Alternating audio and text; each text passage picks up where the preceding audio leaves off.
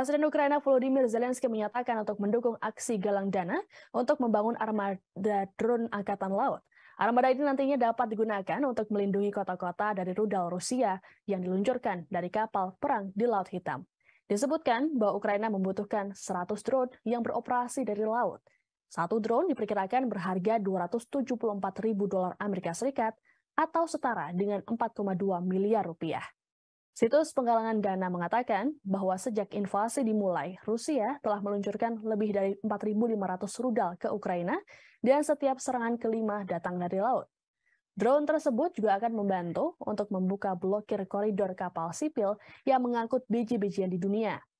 Sejak meluncurkan invasi skala penuh ke Ukraina, Rusia telah melakukan serangan rudal dari kapal-kapal di Laut Hitam dan dari Crimea, semenanjung yang direbut Moskow dari Ukraina pada 2014 lalu, dan yang merupakan rumah bagi armada Laut Hitam Angkatan Laut Rusia. Rusia juga telah menggunakan drone udara termasuk model kamikaze buatan Iran untuk menyerang Kiev dan infrastruktur utama di seluruh negeri. Tak hanya itu, Moskow juga memblokir pelabuhan Laut Hitam secara bertahap setelah invasi dilakukan, termasuk memblokir ekspor biji-bijian internasional yang penting.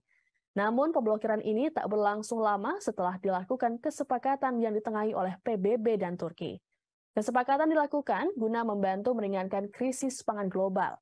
Pada bulan Juli lalu, Zelensky meluncurkan seruan Army of Drones untuk uang pribadi guna membeli armada drone udara kelas militer dari negara-negara di seluruh dunia untuk digunakan dalam perang melawan Rusia. Ukraina sendiri belum mengonfirmasi atau membantah berada di balik serangan pesawat tak berawak udara dan Laut Oktober terhadap armada Rusia. Namun menurut pernyataan yang diunggah di situs web United 24, itu adalah serangan pertama dalam konflik selama berbulan-bulan yang dilakukan secara eksklusif oleh perangkat tak berawak. Thank